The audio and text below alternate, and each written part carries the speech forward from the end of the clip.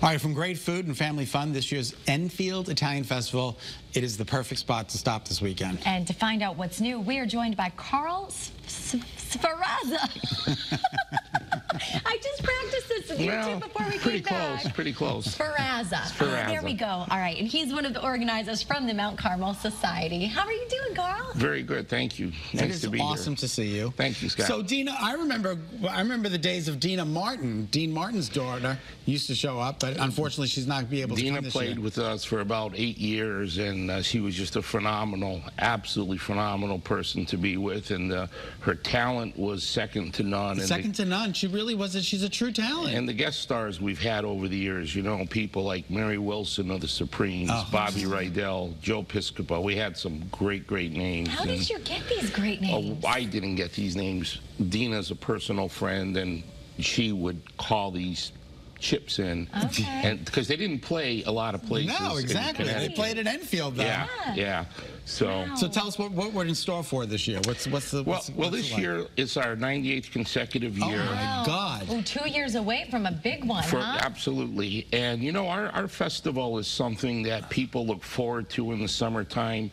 And unlike other festivals, we don't allow food trucks to come in and that type of thing. We do all the cooking on our own uh, my grounds. God, that is wonderful. Because we want to control the quality and the and the price of the food. Mm-hmm. And you know, it's kind of like when you go to Disney World, there's an expectation of customer service at Yep. Disney that's set high. Yep.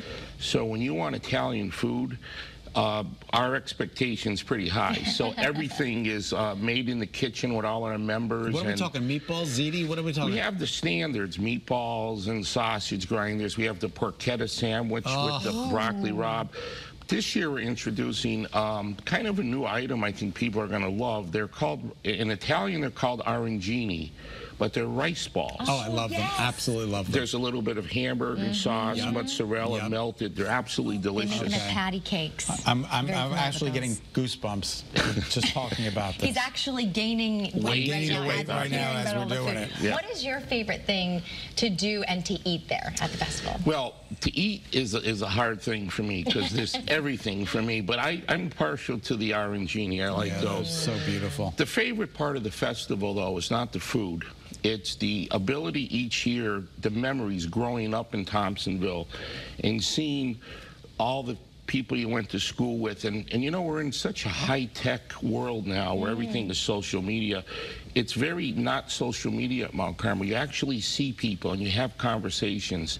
And to see the families come in with their lawn chairs and enjoy the music, it's just a, a, a wonderful small, big community, if that yeah, makes any it, it sense. does. It totally makes sense. Sounds like a homecoming or a reunion. It's kind of like a reprise from what's going. You know, the world sometimes, as you know, you watch the news and it's not always good. No, it rocks in different ways. And we know it's there, but for this festival, it's a throwback. And you know, on Sunday morning we have an outdoor mass, and then we have a procession, uh, Wow. old school, through the streets with an Italian marching band, which are not easy to find. Exactly. And uh, it's how they did it 98 years ago, and we just want to continue that tradition in Enfield. And it's very family friendly. The admission price is ridiculous. It's three dollars. Oh my God, Oh, God, my that's so word. awesome. And we let kids under 12 in free. So we're trying to make it affordable for families, give them a good quality night of entertainment. So it runs all weekend, and we're right off um, I-91 exit 48, and uh, we hope right. people come out. We hope they do too. Carl, it's great to see you. Carl Opens tonight. Sferrazza. There you Did go. I get it? You got it. All right. 93 Park Avenue in Enfield. Again, it runs through Sunday. The weather is going to be spectacular this weekend. Get out there and enjoy it. Thanks, Carl. Always a pleasure to see you. Thank you very Have much. a great And tell festival. Deana I Thank said you. hello. if I will. I will. next. All right, Storms.